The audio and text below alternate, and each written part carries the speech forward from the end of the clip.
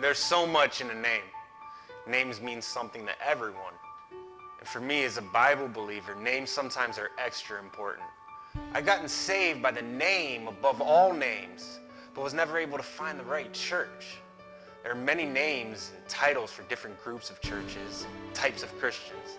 I look at the Bible, though, as God's perfect, inerrant, infallible word, every single letter in the right spot. A lot like our towns that we live in, we associate so much to names. Names have that much importance to them, they actually define us. Over the years, I'd listen on the internet to godly men who love the Bible and believe on the righteousness of the Lord Jesus Christ. One day, as if all of a sudden a name caught my attention Bible Believers Church.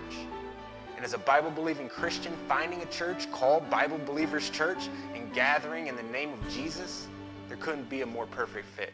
And so much had to do with the importance of the name.